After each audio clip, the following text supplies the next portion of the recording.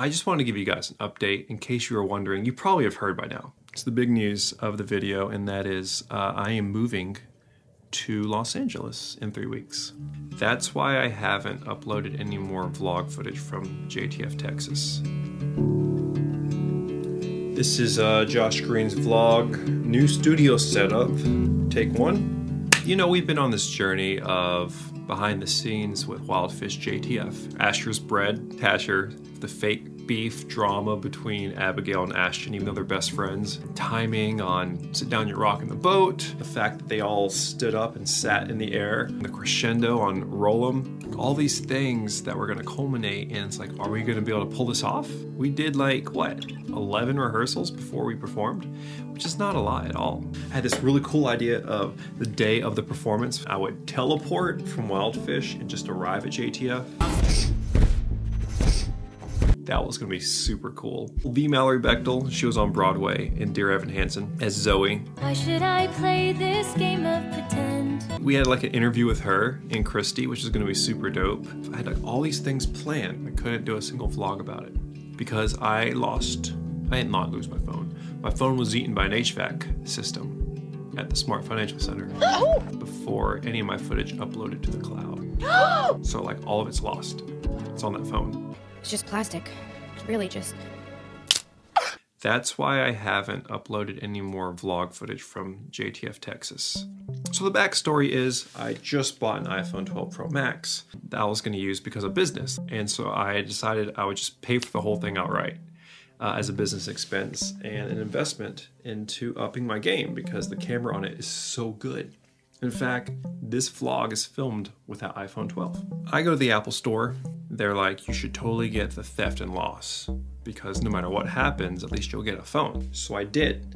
And then they helped me set it up, which is great because um, I just want it done correctly. So fast forward 40 days to where we're at JTF.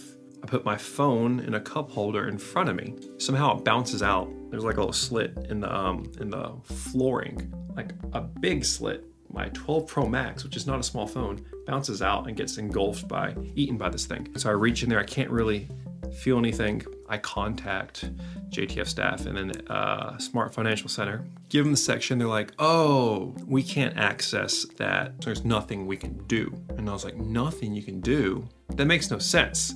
So I'm thinking I just need to wait a couple days and they're gonna figure this thing out. I'm without a phone all week for like five days. I didn't realize how much I use it for everything. I use it to listen to music in my car. Like who listens to the radio anymore? I use it to navigate. I use GPS all the time. So I had to drive around Houston without GPS. That weekend, everyone who went to JTF will tell you like Josh missed us every time we like changed stuff. There was no way to let me know, hey, we went to someone's house or we're running late or we decided we want to go to Starbucks. And I was in the middle of a job interview. And so for all I know, they're trying to reach out to me. I'm not getting back to them and they're thinking I'm not interested. So fast forward, I contact them back and they're like, oh yeah, there's no way we can get to that. It's happened before.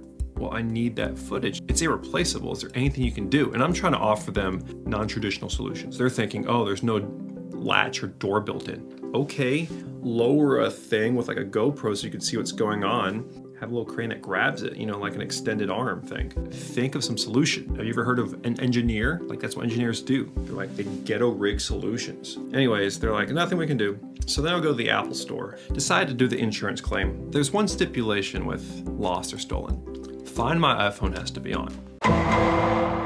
Now on all my devices, Find My iPhone is on. Like I know about that, whether I have insurance or not, because I just want to be able to track it like I lose my stuff all the time. Well, even though the Apple Store set it up and didn't turn Find My iPhone on for whatever freak reason, I was held liable. I literally went to you guys to make sure it was done correctly. There should be some guarantee, you know, like, oops, I can't believe we set up your phone and didn't put, turn on my iPhone on. That's bad on us. We should take responsibility. They said, No, there's nothing we can do. well, you know, the Smart Financial Center has a bad building design and it's happened before and they didn't patch it. You know, like you could just put grills over your vents. That way things don't fall in since they have a history of doing that. So I think it's fair to ask them to pay for it. So I email the guy there and say, hey, I think you should pay for my, my device because Apple won't cover it. And they just stop responding. Even though I just paid full price for my iPhone 12 Pro Max, I had to pay full price again. Now that's a lot of damage! To have to spend that much money within like 40 or 50 days is a big deal, especially for someone who's saving up to move to LA eventually. Ate into my savings, and so in that moment, I'm just sitting here, I'm fuming, right? This isn't fair. Are you kidding me? No one's accepting responsibility for how they dropped the ball but I have to pay the price for it. And these are big corporations. The Smart Financial Center has insurance. Apple has trillions of dollars. So when either of them mess up, why should I, the small man, little guy, have to pay for their mistake? And that's what I want to kind of highlight on. It's not the best mindset. Do I have a case? Yeah. I mean, I think it's fair to say that that wasn't fair or right, and that neither corporation showed very good customer service, but it highlighted a couple of important lessons I have to constantly be reminded of. Now, most of my uh, audience here on my YouTube channel are going to be high schoolers and collegians, uh, with a couple middle schoolers that watch. I feel this lesson is very timely for you guys because they prepare you for the real world. We live in an ideal world to where it's a very controlled environment and we are told very clearly do the right thing and good things will happen to you.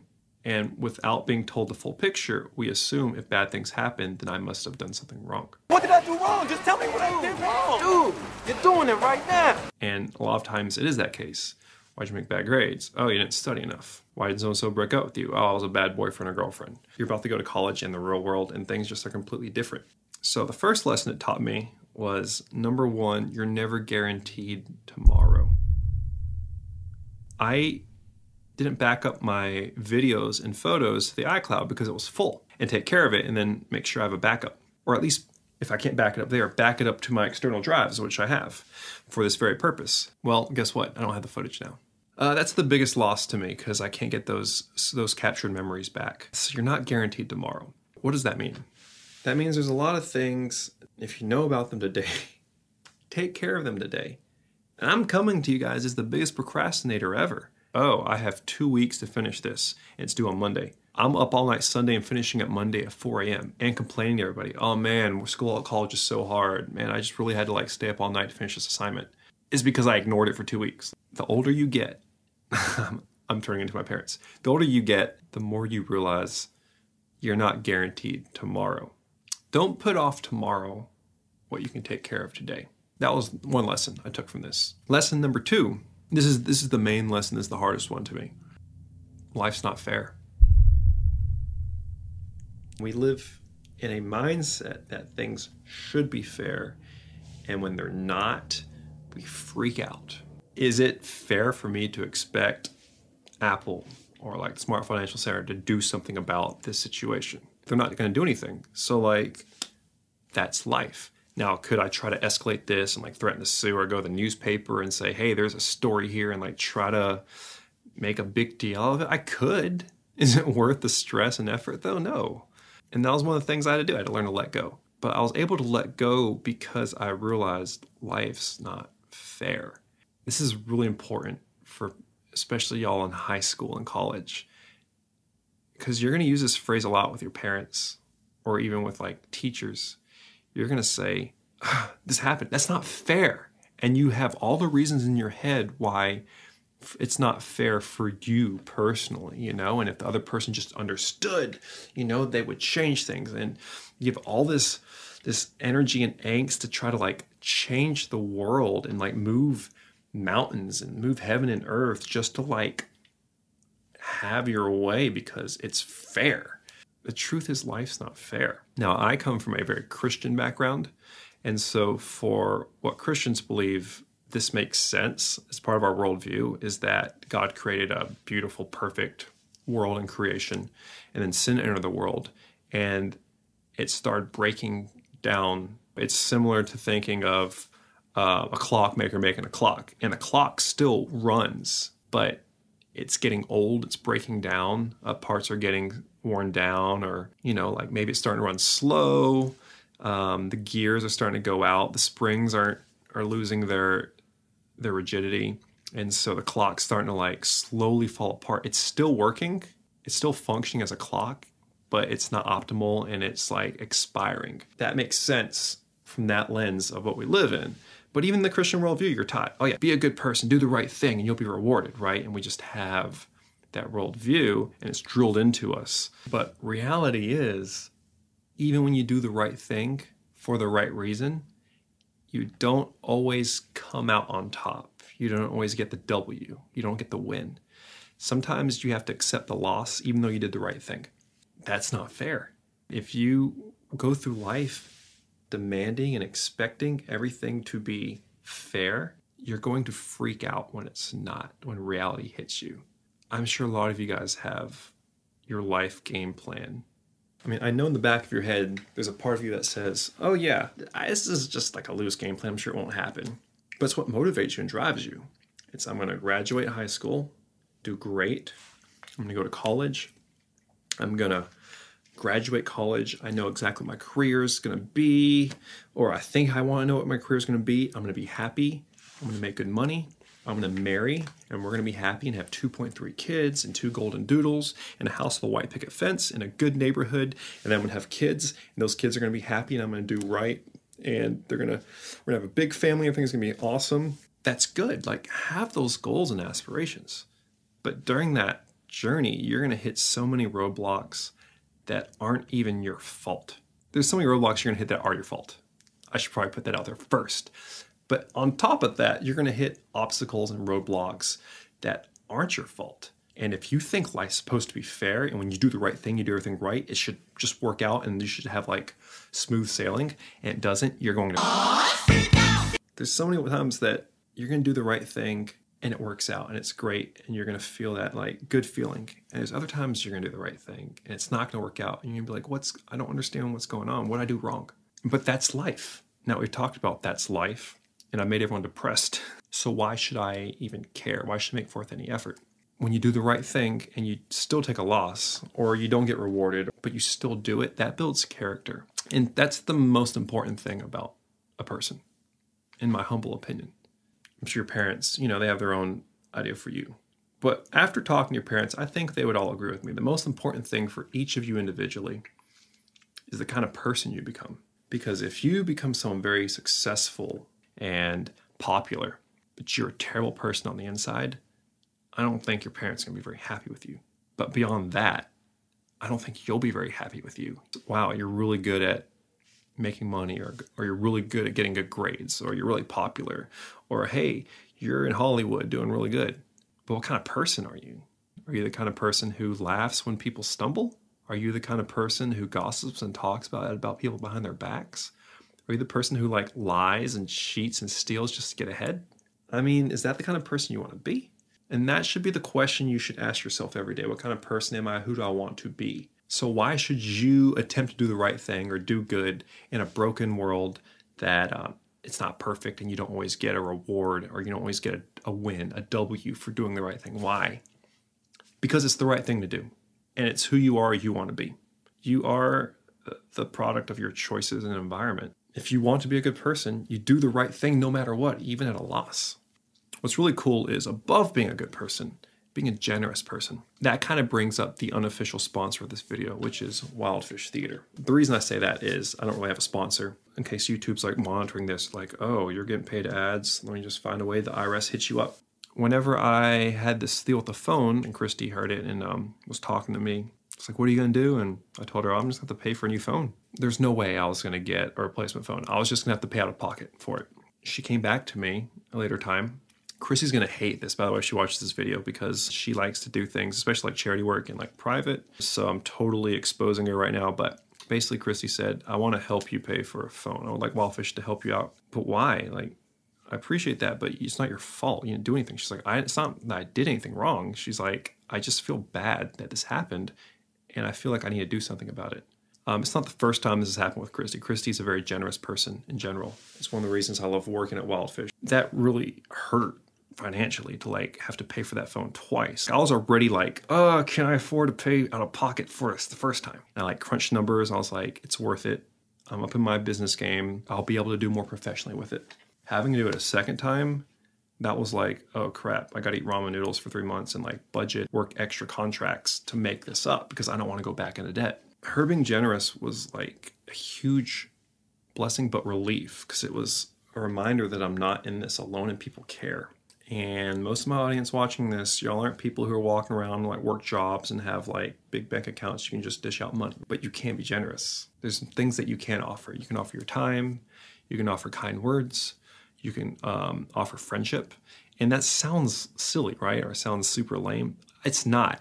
I moved and went to like eight different schools before I graduated high school. When you're in a new school, you start as an outsider.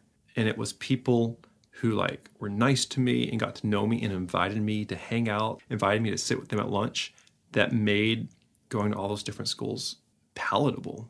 It wasn't it was still hard, but it was like much more enjoyable. People that became my friends, like, hey, let's go to the mall, let's go see a movie. When you want to come over? We're just gonna come over and like watch a movie or play pool or whatever. I felt like I belonged. And you can do that. Beyond being a good person who does the right thing for the right reason, even at a loss, go beyond that. Like find people that have needs. Oh, that person doesn't really have friends, or that person was just, you know, talked bad about. And just go over there and befriend them. Or just say a kind word to someone. Buy someone breakfast or lunch or something. Oh, even better yet, do it to your parents. Dead serious. See, we always approach our parents of like, give me, give me, give me, but you never give anything back to them. Your parents did not pay me to say that. I'm just being real with you guys. They would love that. What's interesting though is every time something unfair happens in life, there's always a silver lining. Now, if you've heard that said before, but let me give you three specific examples of things that were unfair, but then ended up being life changing in a good way. Number one, Hurricane Harvey. So I'm, I'm like homeless, right? But out of that, first of all, generosity. So I had families at Wildfish and at my church who like gave me literally money to help me out. Had families, you know, let me stay in their hotel suite while they were flooded too, or let me stay in their guest houses while I was trying to find a new home. Secondly, I got my dog. I got this guy from Hurricane Harvey. We were both flooded. I wouldn't have had him. Thirdly, I was in the middle of trying to make life work for me, and I had this like view of what I wanted to do in life and how it had to work. And I was getting frustrated because it wasn't working out. And then I started asking myself, you know, what do you want to do? And I was like, I've always wanted to be in LA and be an actor and write and be involved in movie making. If it wasn't for that horrible hurricane incidents, then I would be still going down this path that I didn't really believe in, but I thought I was supposed to do. There you go, baby. That's a big win in my book. Number two, that led to me moving to LA in 2019. But three or four months in, no, it was like five months in, COVID hit and the entire world shut down. So here I am in Los Angeles, a very expensive city with no work. Oh, and my condo that I was supposed to sell before I moved didn't sell. So I'm having to pay for this expensive condo downtown and expensive housing in LA, and I have no work. That's not fair, but it's what it was. And so I moved back to Houston, and it just happened to work out great because then I started working at Wildfish and they needed help with video stuff.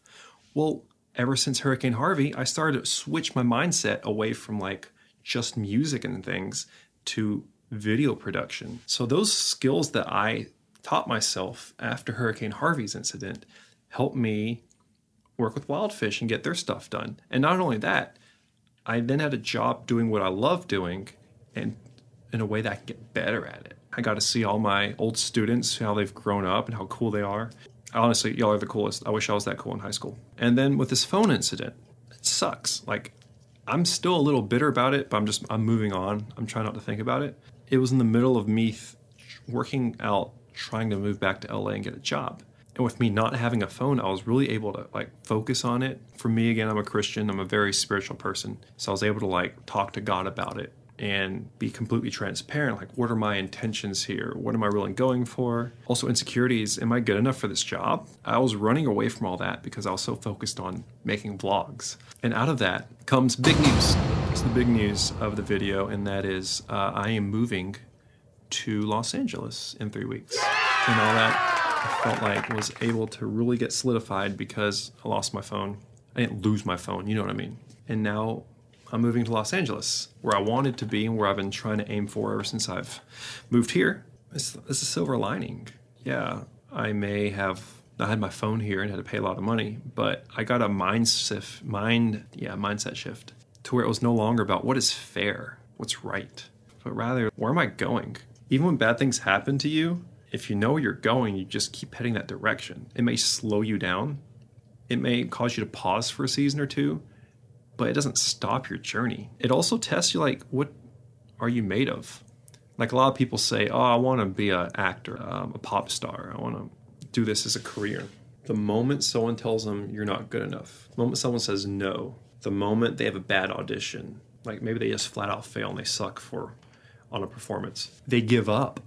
Okay, do you really want to do this? Do you really feel like it's what you're supposed to do? Don't give up.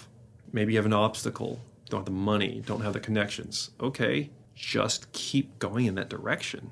There's no there's no secret formula to success. Uh, if it was that easy, then we would all do the same thing and all succeed. Big faith move here because I have a job, I have a start date, I don't have anywhere to stay. So if you know anyone in Westlake, Topanga, Thousand Oaks, Agoura Hills, anyone in that area that has a guest house they'd like to rent out to a guy with a dog at a discounted rate because um, I don't have $2,000 a month for rent, please let them know, connect them with me. That'd be that'd be really awesome. My Wildfish kids my last shows are going to be the Elephant and Piggy and the two Little Shop of Horrors, and we're going to end it with a bang. And if you're not in them, come see the shows on Friday, August 13th, I think. Yeah, Friday the 13th. It's pretty dope. And say hi and bye, and we can, you know, cry. Not really. I don't want to cry. Even if you don't understand this fully right now, I'm just trying to plant seeds so that whenever life just gives you the L, that you're able to be like, oh yeah, Josh talked about this so I can be prepared for this moment and just be able to process it and keep going and know that it's not weird for you to do the right thing and it not work out. It's quite normal. Be a good person, be a generous person, and do it anyways because that's who you are on the inside. It's who you want to be if you're not. Everyone I know watching this vlog, I know them pretty well. Y'all are really good people, and I just want to encourage you so you're not discouraged and turn to the dark side. Oh, I want to tell y'all something really cool. I'm in the middle of um, almost finishing production on a short film I wrote that has one of our Wildfish actresses in it, Daniela, and I'm gonna show you a little clip here to end this video. It's really rough on the audio. She does such a good job. Let me know what you guys think. All right, peace out.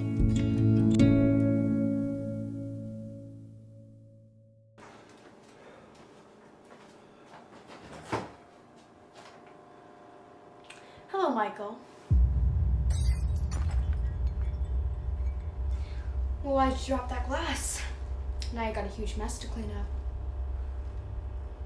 Well, hopefully it's the only mess I'll be cleaning up. Hopefully.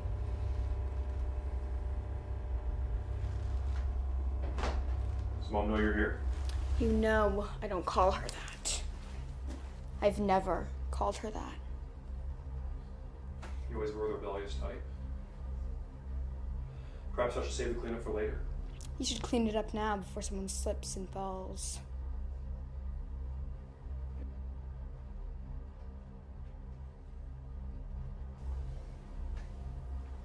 Mom doesn't know you're here then? Maybe she does. Maybe she doesn't. What, you worried? It's only a matter of time, I suppose. Well, aren't you curious how I found you? Not really.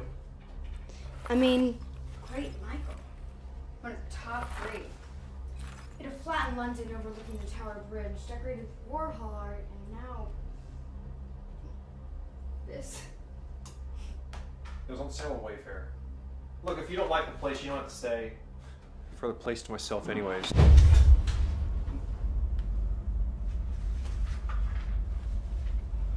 You really lost it, didn't you? You really lost your speed.